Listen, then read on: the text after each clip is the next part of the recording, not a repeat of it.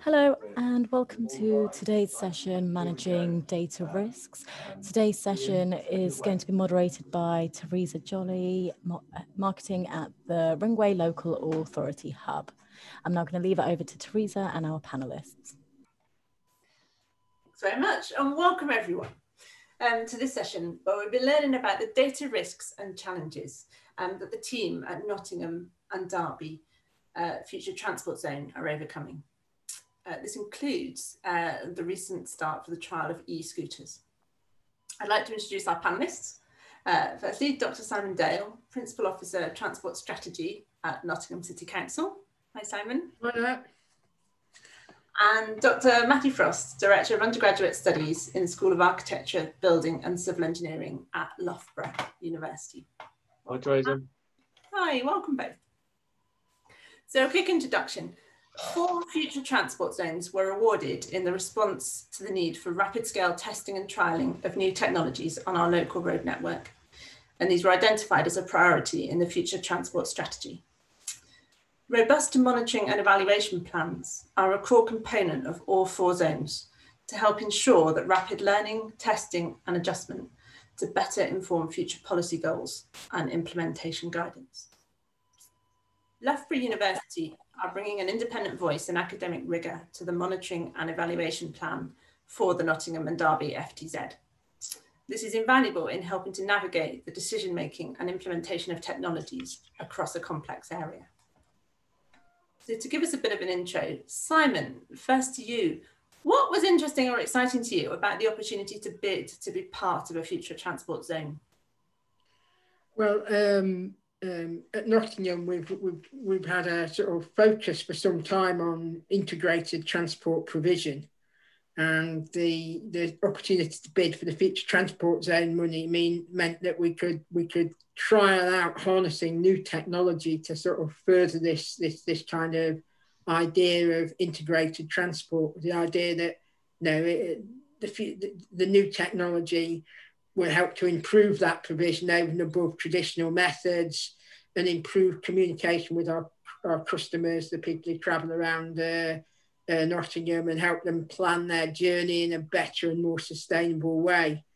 Um, and you know, it's really exciting to be involved in some of these projects, things like e-scooters, which are a completely new mode of travel, for example, you know, uh, it's not often you get the opportunity to be involved right at the start of something like that.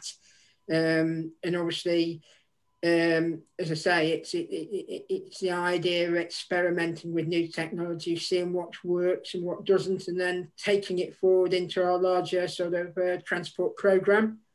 So fit quite well with a lot of other schemes we've got going, like the Go Ultra Low scheme, which is is is, is designed to um, increase the uptake of electric vehicles, and the Transforming City Fund, which is a large scale funding which, which all core cities have, have got to some to, to, a greater or lesser extent to um, uh, um, enable them to, to, to improve their sort of particularly sustainable transport uh, uh, offer. Fantastic. So, um, yeah, I mean, so it all fits very well, and it, then it gives us an opportunity to try new things where perhaps otherwise we wouldn't have been able to. And I gather you've kind of overlaid a few uh, projects that you've been involved with uh, to help make that happen as well, haven't you? And so you've got yeah, well, I've, touched on Go Ultra Low. So yeah, we, we received funding from DFT to uh, to create a, uh, a, data hub for, for particularly real time transport data, which we've been developing the technical side of with uh, the University of Nottingham um, and, and that, that, that will lead directly into the future transport zone uh, because it underpins some of the projects within the, the future transport zone scheme. So it's, good to, so we'd already started looking at some of the things that we have then got the opportunity to expand on within the future transport zone as a result of gaining that funding. Fab. And I, I, think you've explained to me briefly, there are kind of like three, that the hub is kind of what the data hub is kind of one of, of several strands, and there's two or three other strands as part of the or yeah, yeah, yeah. So, so uh, it's all a bit about terminology, isn't it? But basically, you have the future transport zone uh, uh, scheme, and then within it, three separate separate but complementary projects. First of all, was to deliver mobility as a service, um, which some, some people listening will, well, most people may well have heard of, um, which is, is an app to deliver integrated journey planning, payments, that sort of thing, all in one place. Um, and then um, a series of e-mobility hubs centered in resident, residential areas, depots and campuses. So three different types of hubs across the region. And then that's all going to be underpinned by the, the third uh, project, which is the data hub. And it's the data hub which we're hoping to plug in. So we've kind of given ourselves a head start, a running start on that with the work we've done through the open data funding uh, and, and the, the application we developed for Nottingham University. I guess the unique selling points of, um, of our scheme are the mobility hubs. Um, there's also on, on, some of the, uh, in some of those, there's autonomous shuttle buses to kind of link external public transport links to the edge of these campuses to, to, to the actual places where people work on them. And, and our MaaS, our, our mobility as a service uh, uh, project is slightly different because unlike us, as it's publicly, public authority led rather than being a private uh, application. So obviously that gives the local authority control of the levers so to speak, on that to maximise the, the, the transport and social benefit that you derive from various travel patterns. Um, so uh, yes, kind of, kind of overview of the scheme. Yeah, fantastic. Thanks very much. And and Matt, I, I, gather the connection between Loughborough and Nottingham has existed for for kind of some time. So yes. can you explain a little bit how that's helped you both in developing uh, uh, in developing the thing and also your role in some of the monitoring and evaluation criteria development? So we we've had a sort of a, a long-standing relationship with the, with the city council in Nottingham that sort of is one of the key partners with the F, within the FTZ and, and that goes back probably six seven years now. Um, we've have a, a, a, transport group within the, the school that I'm based and we've sort of brought together a, a, team such as myself. I'm a, I'm a civil engineer. We've had some transport economists, uh, transport geographers, uh, and we started off working with Simon actually on a on a on a project to assist with the evaluation of the workplace parking levy, um, which Simon was able to gain his doctorate through. And uh, that that was proved a great success, and sort of we were able to support the council in some of their evaluation work with that to, to maybe do some of the things that perhaps they wouldn't normally be able to do within the the time frame that they would have and provide a bit of extra resource and and also support that with maybe some questioning and and, and testing of some of the elements of the evaluation with perhaps a bit more sort of academic underpinning than maybe you get if you were just just progressing with the evaluation on your own. So so we've been able to provide, wouldn't necessarily say oversight, but support to Simon and the team to to bolster what they're doing in terms of their evaluation. Um, we've moved that on over recent years, and, and, the relationship has grown. So we've we've now got a a, a project as part of the the Go Ultra Low scheme that Simon mentioned, looking at um, issues around charging data for electric vehicles and charging patterns within the city, and and sort of supply and demand of charging for electric vehicles. And uh, we've we've extended that again into um, the FTZ scheme. Um, in part, we've got a, a, a co-funded PhD student who started a month ago working with the city council to look at elements of this as the, as the scheme develops. But we also helped Simon sort of having a read through of the evaluation documentation and all the really complex logic maps he put together to sort of look at how we might evaluate the three strands that, although somewhat separate to each other, actually contribute in a in a in an integrated way to bring all this lot together within the within the FTZ. And obviously, moving forward, we've we've sort of post COVID, we've added in the um, some trials of uh, electric scooters into that as well as part of the, um, the government drive to think about that. electric scooters. So it's it's been good for for I hopefully Simon will agree. It's been good for them. It's been good for us. We get real data that we can analyse at the university. You know, large data sets available to us. We've published joint papers off the back of the work, which we send out for peer review. Perhaps gives a bit more credibility to some of the approaches that they take in terms of the evaluation and I think the the relationship has been as benefit to uh, all parties in terms of yeah. supporting the work in what you know in in you know, Nottingham has got a fantastic reputation for their innovative and forward-looking approach to, to transport, and it's been good to be part of that. And I think just backing that's fantastic, Matt. I think backing that up as well. It sounds like there's been a move for, for some of these larger um, kind of in situ schemes like the FTZs. There's there's been a movement recently, hasn't there, to um, to make the evaluation and monitoring component of it both overall nationally with all the schemes, but also within the schemes much more uh, relevant and kind of connected to it. So, I mean, it's obviously been, it, it, sounds like you've worked for quite a bit together in, in actually trying to figure out how that, how you can actually put that into play and make that work. And then, of course, adjusting to, to COVID, as everyone's had to adjust, I guess, in various ways. Um, I mean, I'm, I, I, I should say, uh, perhaps I should have said this earlier, but my role is in transport strategy is to look after the monitoring and evaluation of major schemes um, rather than actually um, come up with the schemes themselves. So I'm the sort of monitoring and evaluation guy, really. And so the model that I kind of operate is to try and do the more major evaluations in partnership with academia because of what, what Matthew said. People get the best of both worlds.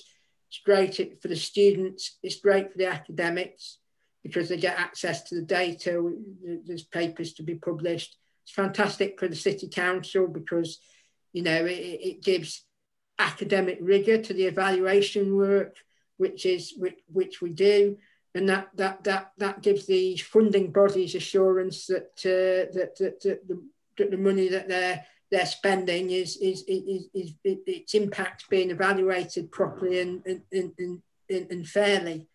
Um, so it's one of the situations where all parties gain really. Um, and the other thing to back up what, what, what Matthew just said, so all of you know, my colleagues who, who tend to put these bids together tell me that the future transport zone, uh, in terms of monitoring and evaluation, was was the scheme with the most focus on that that they'd ever bid for by by by several fold. You know, it really was about trying new new stuff and seeing how well it works. Um, and, and so there's been a big focus on monitoring and evaluation for the future transport zone because of that. Yeah, and it's been, it really is a bit of a test and trial project to actually really learn rapidly from what I've picked up. We kind of really learn rapidly from implementing stuff. How does that work? Uh, how should we not do it if we were to take it forward? Uh, yeah, so, so yes, it's, it's not just what we do, it's how we implement it is of interest. Because as I said, for e-scooters, for example, it's a it's a completely new mode. So it's a learning just just putting those schemes in place is a learning process and you know documenting that. So people who come people come who, who put similar schemes in afterwards understand how not just what the impact's likely to be but how they're implemented is is very important. And just to put this a bit into context so the, the future transport zones are in, still in their that they're awarded but they're still in their fairly early stages. And then with covid i understand um, some of the zones had decided to do e-scooter trials, but actually I gather that there's been a, a, kind of agreement that all of the zones would take that on. And I think that was a bit new for you. Do you want to give us a bit, given it was in the title, do you want to give us a bit more uh, of the kind of background to to the e-scooter trial, how it landed with you and where you are, what the challenges yeah, I mean, I think e-scooters were coming anyway, but um, the advent of COVID and the need for social distancing and getting particularly key workers to work in a safe way has really bumped e-scooters up the agenda and prompted the Department for Transport to, to, to push for them to be trialled within the within the future transport zones. So I think that's how that that that's why that's become a small but important component of, of, of, of the zones. Um, I mean, there's a whole host of challenges with doing this. I mean, you start off with the procurement, you're procuring a completely new mode. So obviously that's a fair challenge. You know what you what, what you're going to put in your tender documents or that sort of thing. Um, what safeguards do you need to put in place? I mean, uh, the the trial in uh, Nottingham is, is is is a higher one. So people can hire for individual journeys, or they can hire an e-scooter and take it home for a period of time. Um, and it's a matter of monitoring how they're used and and, and, and, and, and any issues that arise with them. They've, they've got quite sophisticated uh, GPS tracking devices and control devices embedded within them, much more so than any other mode, arguably.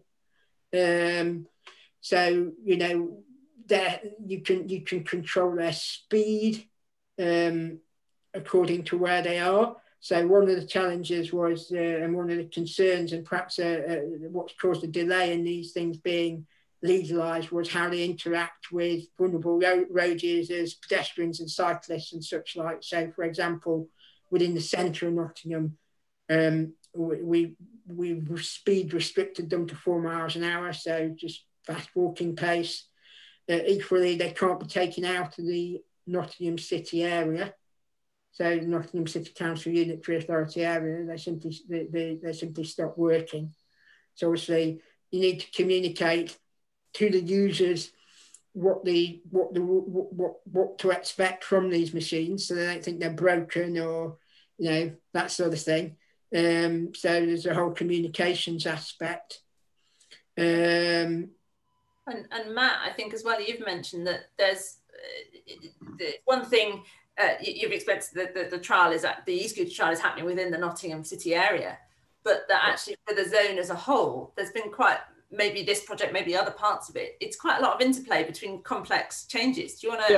Yeah, yeah. I mean, you you've got sort of the the the transport geography, the the sort of the, the, the Nottingham Derby region to contend with in that that that um, you've got the three major cities of Nottingham, Derby, and Leicester, not too far away from each other, and they're all sort of run slightly differently in terms of their their local council status and, and how they're they're funded and to some degree their approach to transport. And Nottingham Derby are obviously part of, the FTZ, but we've also got um, East Midlands Airport linked into that, which is um, nominally in Leicestershire.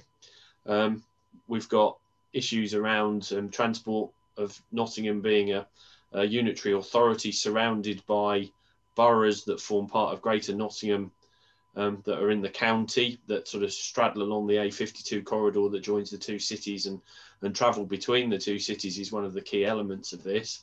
And then coming back to the the key issue with the, the e-scooter trial, some of the major trip generators that you might expect for the e-scooter trial, which could very well perhaps be the University of Nottingham, sit right on the boundary between the city and the county areas. So, so if sort of you know people are wanting to use them to go from one one way out of the of the university into the county, then you, you've got to think about well how how do you balance that in terms of the the limits of your trial. So there's there's quite a few sort of geographical issues associated with with with how we can we can run the run the trials and how we can manage and maybe collect the data and, and evaluate that particularly just given the nature of the way people use transport within the the conurbations that form part of the FTZ moving from place to place and I think it sounds as well like there's quite a bit of um you I think the system sounds like it might rely quite a lot on kind of GPS location to turn features on and off. Is that is that right? Yeah, yeah. So, so the the the, the technology. Um, we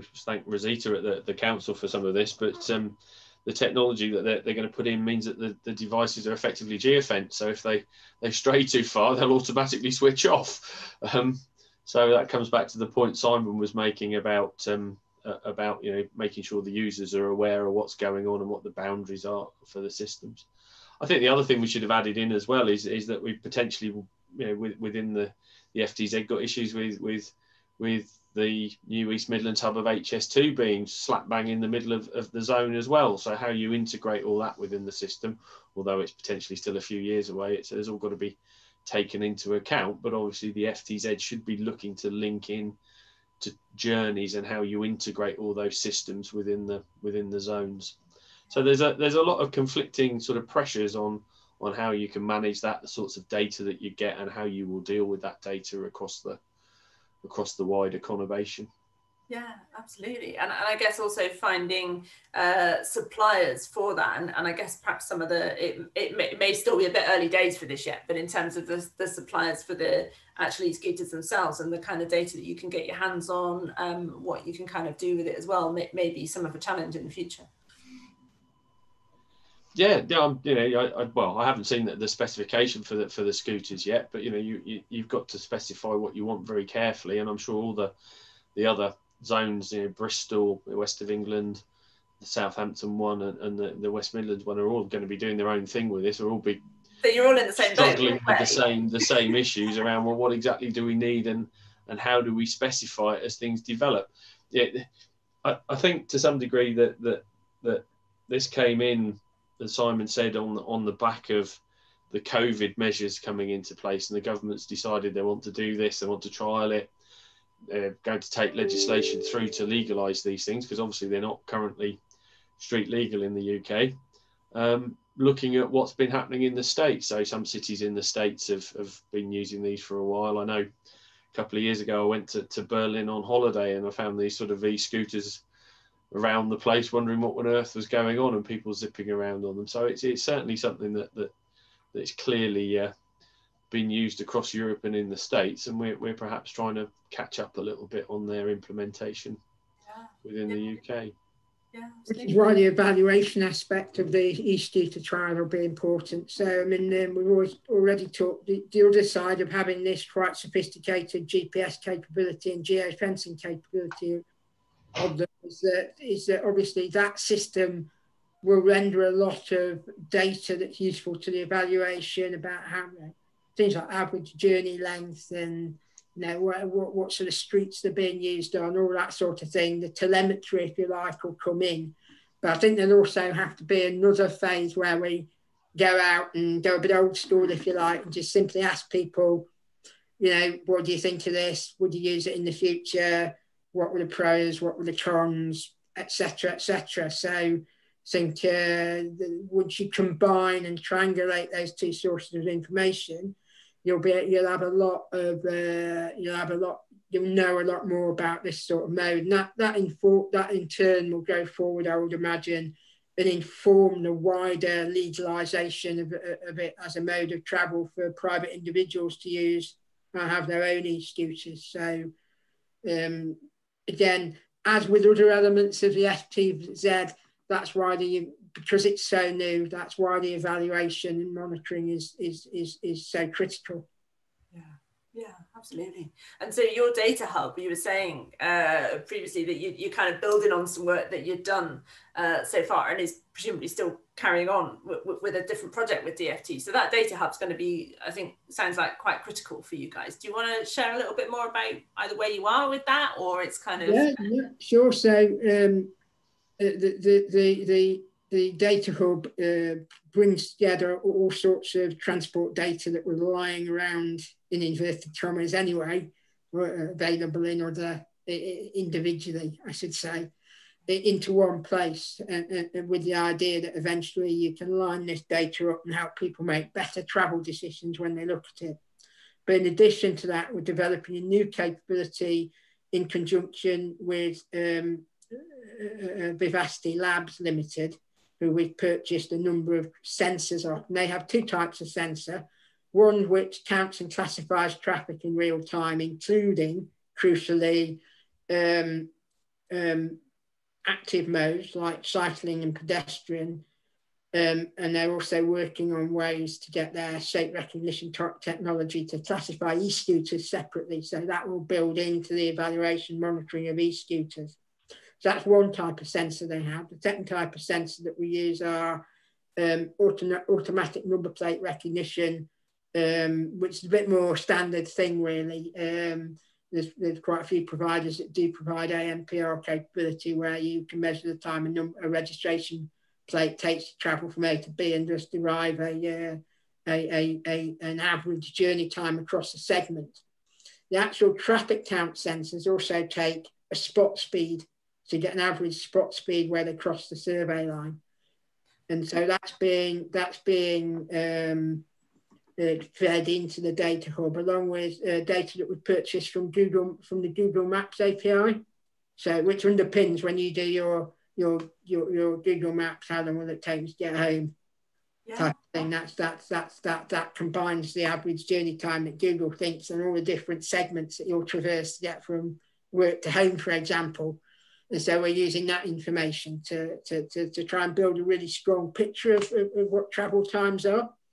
Uh, uh, um, so, so that will be, and then when you combine that with all your, your normal public transport type data, arrivals and departures from stops, um, et cetera, et cetera, and possibly model journey times for, for, for, for cycles and walking. Um, the idea is that that will then underpin um, the mobility as a service. I was just about to say that's sounding like that. enhanced intelligence for the mobility as a service to function properly.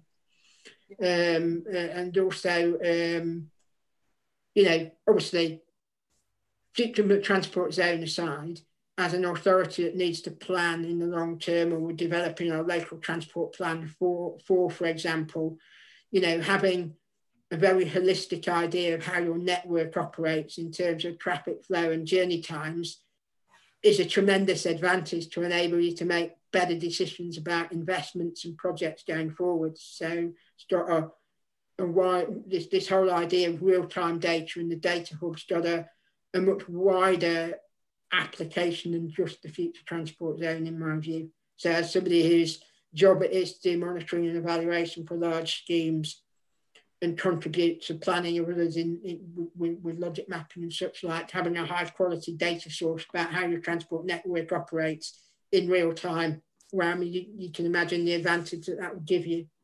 Yeah, and you, so, Matt, sorry, did you want to come in? There? No, it's fine. I was just coughing. coughing okay.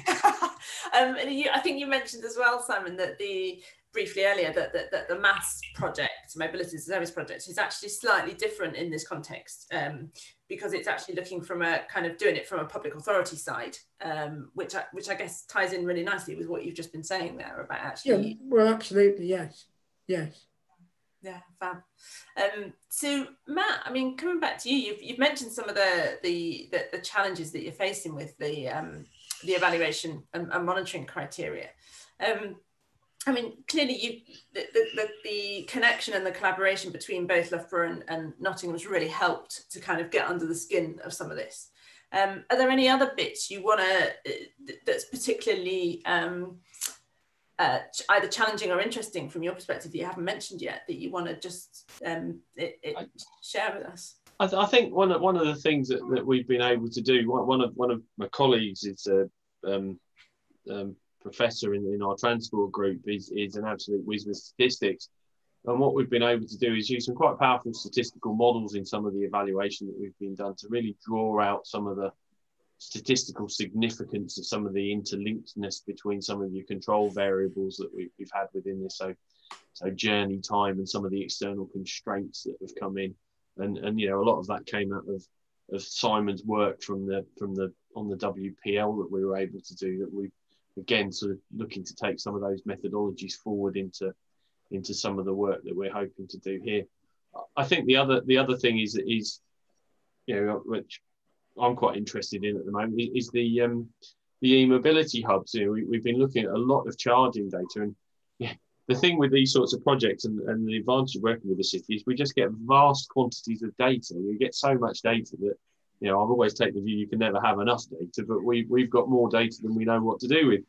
And, and you know, there's all sorts of things you can pick out of this in terms of how people use public charging networks and what we've been doing. But we can use that to then maybe look into some of the e-mobility hub issues about where you might locate them, you know, what some of the issues might be in terms of how they can benefit the population in terms of maybe issues related to air quality if you encourage more people to to use these e-scooters or, or you know move towards electric vehicles and, and things like that. So there's there's huge amounts of scope within this.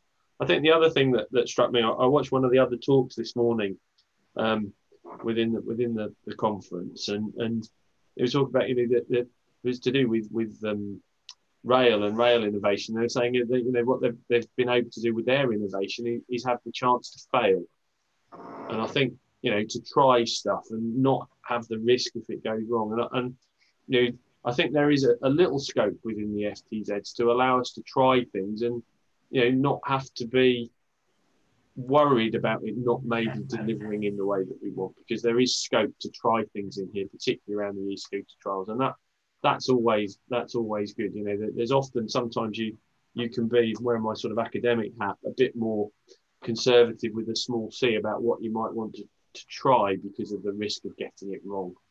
And, and within this, I think there is there is some good scope to to have a try at, at certain things and see what they do. And, and you know, again, coming back to the scooters, one of the key things is the fact we're going to be able to learn from the other the other people who are going to be trying this and share data between us and, and really try and drag some good solid information about how these things work and how people might use them maybe what some of the risks are, what some of the health and safety issues are about using them in, in the public realm and things like that. So there's lots of scope within this to do all sorts of different things. Yeah, it's a really fantastic opportunity to bring out some some future change, if you like, within within the different approaches to transport. And you know, urban transport is probably a one of our more neglected areas of our transport systems within our major conurbations in recent years. So it's, it's good news.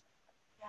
And I think also, I mean, it's a really important point you, you touched on it there about the, uh, yes, the, the um, uh, feeling safe about the fa- failure or testing quickly and learning, but also uh, the ability, you said you had a load of data and you can kind of look at that, but actually having I think you've got quite a multidisciplinary team, haven't you, Matt? So you've got quite a lot of insight together with Nottingham. Uh, it's not necessarily just what it, perhaps uh, some might think it's not just a kind of bunch of academics looking at some data and trying to work out what to do with it. You've actually got insights from quite different perspectives to actually start to integrate some of that into the thinking that that that, that not so having to go through anyway, uh, yeah. and vice versa. So, and yeah, we, we can we can bring our skills to, to the benefit of all the skills that you've got within the city council teams that not only are planning this.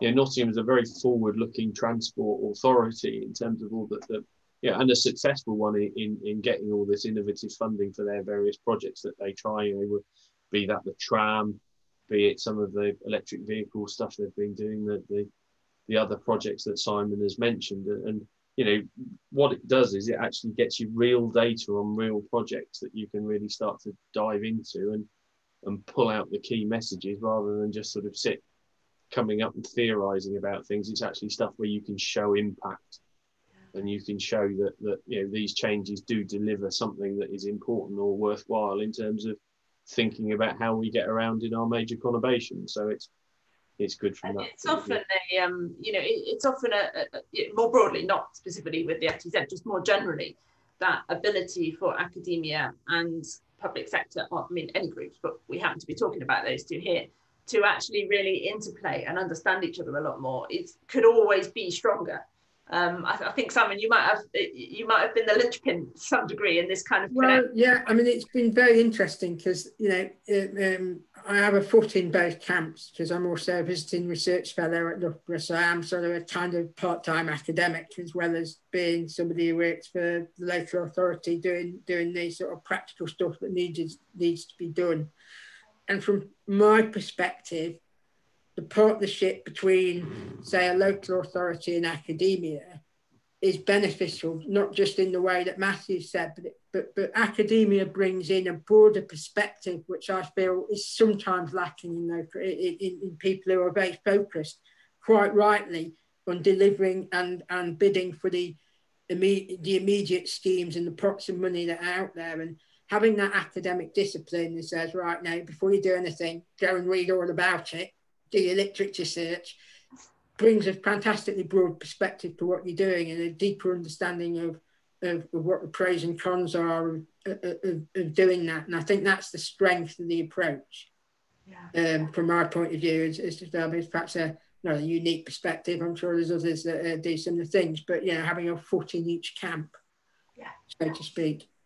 Yeah, absolutely, absolutely. I think that's really cool. From the local authority point of view, to, to go back to to the workplace parking levy, which is perhaps the completed example of this model of uh, doing an evaluation. You know, we, we got out of that, you know, three or four peer-reviewed papers that underpin the rationale of the whole idea and explore the pros and cons of it. They, they've gone through the review process, they're published, you know, they're validated, and they're there for others to use in, a, in, a, in, an, and give an impartial view of, of, of what's going on. And I think that's a very, very good way to deliver knowledge and learning from these more innovative schemes because actually the workplace parking levy in the Nottingham workplace parking levy is the only one of its kind in, in, in Europe really. Um, and it uh, could be a model for, for significant amount of funding for local transport authorities. And then the next thing that comes along that is innovative, of course, is the future transport zone. So the, the two the the the, the, the, the two are very similar um, beasts in terms of doing the evaluation and monitoring.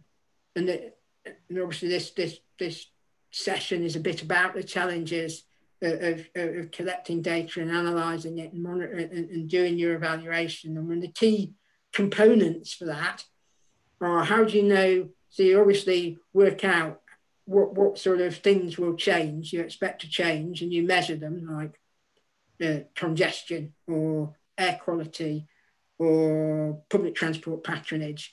And you see these things going up or down or staying the same. And, and you see them do they've done that in the sort of before and after and during periods of you implementing these large projects but how do you actually know that those changes are due to the project that you put in? Because in the meantime, there's all sorts of things going on, especially at the moment. You know, yeah, uh, I mean. So, so, that is so. So this idea of taking into account all these all these external changes, and, and trying to provide evidence of cause and effect for this scheme that you're actually evaluating is a big technical challenge from an evaluation point of view. Doubly so at the moment because COVID's about the most biggest contextual change that certainly I will ever experience in my career. I'm sure. I hope it is anyway. yeah, and I, I, think I think you know that that's a, a really important point because with all of these sorts of, of, of projects, you've got to say, well, where's my starting point? What's my baseline? What's what's your your control, if you like, before you then look to see what what, what the effect of your intervention has been, and and our baseline has been fundamentally changed in the last six months, as everybody will fully understand. You know, we, you know, you've only well, we all know what what the the situation is, and our own experiences of using transport and the way people are getting about has shifted. So so where where do we where do we take our zero point for this? Where where do we start the evaluation as the baseline? Do we so, so there's some real challenges around that as well in terms of the things that Simon's just been saying that we're, we're going to have to try and wrestle with when we get stuck into this a bit further. Yeah, I was going to say, have you solved that already, Matt? But I think that would well, be. No, no I did. I, I, the, the, the, the, the, the FTZ funding came through. I can't remember whether it was shortly before or shortly after we went into, into before, lockdown. Before, yes. It, but it was about it was it was around that time, sort of late February, early March time, yeah. and and you know you you've you've suddenly got something that has fundamentally changed everything. So so you know we're going to have to think about well, do we go back to to what it was like before? Do we wait and then do another baseline survey in due course as we look at the implementation of these things? Do we need to revisit some of the things we're thinking about doing on the basis of some of these changes? You know, and that's already happened by the integration of the e-scooters to some degree, I suppose. So yes. there, there's lots of challenges ahead with this, which everybody who's trying to do any transport projects is going to be faced with because what is the new normal? I guess it perhaps just might be slightly more amplified on the, na- the very nature of the FTZs, being that it is about future stuff. So, so the risk and the uncertainty is, is just all that much higher. And, and like you said, the, the, not knowing what the baseline is um, or, or, trying to figure out a way to, to kind of assess it in a different way without that consistent mm. baseline is definitely a challenge. So it sounds like, go on, Simon. Yeah. I was going to say one thing that perhaps haven't made clear here, and, and I should have done, is uh, uh, my comments have been extremely Nottingham focused because that's that's that's that's who I work for. But um, um, should stress that the future transport zone is a is a is a cross is a sort of cross regional scheme. So we we we we we've gained this funding not on our own, but with in cooperation with with with with, with Derby Derby City Council and the and, and, the and the county councils. And, and, and one of the, the, the other unique selling point of it is that it will be interesting to see how these measures, how the impact of these measures vary according to the various and diverse geographical locations within the zone. So you've got some urban, you've got some interurban, you've got some rural, you've got out, out of town uh, growth points like East Midlands Gateway and things like that. So, so first of all, we do have partners, which I've not really done the right thing by, by discussing too much here because it's been very Nottingham focused, but also that is one of the learning points we hope to get from the scheme is how it affects differential. So one of our e-mobility hubs, for example, will be in a traditional residential area of Derby rather than a new build one. So so things like that, it's it's spread across the region. Yeah, fabulous. I think we're kind of getting out of time. Are there any final points that either of you would like to, or, or comments or reflections you'd just like to add before we close? Oh, hopefully we've given you a, a bit of a, a flavour of, of what we're trying to do and maybe some of the challenges that we're facing and, and some of the sort of the constraints. And I suppose, you know, if anybody watching is interested, you know, please get in touch with us. And, and um, if you've got any questions, again, we can try and respond to those if you, you get in touch with us in due course.